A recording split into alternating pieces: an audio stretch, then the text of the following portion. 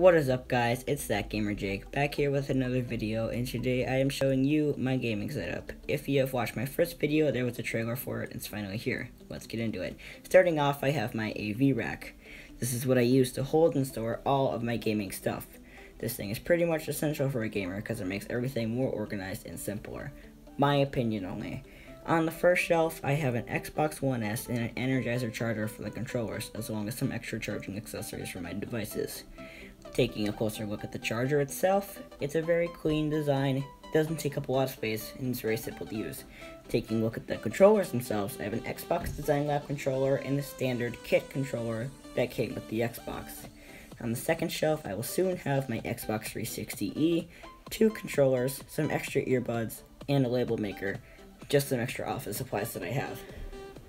On the third shelf, I have a small collection of Xbox One games and some Xbox 360 games in the back.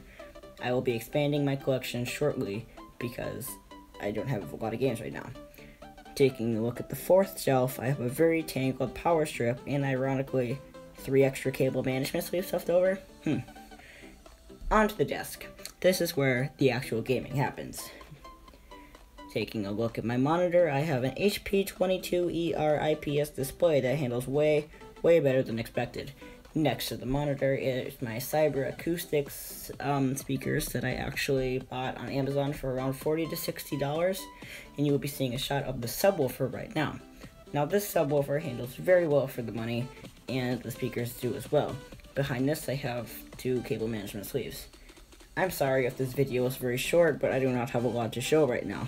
I will have another video in a few days about how I make and record my videos as long as my hopes for future tech. If you haven't noticed yet, I won't just be making gaming videos on this channel, I'll also be doing tech videos and unboxings. First, before I can actually make gaming videos, I need an Elgato, as long as a PC to do this.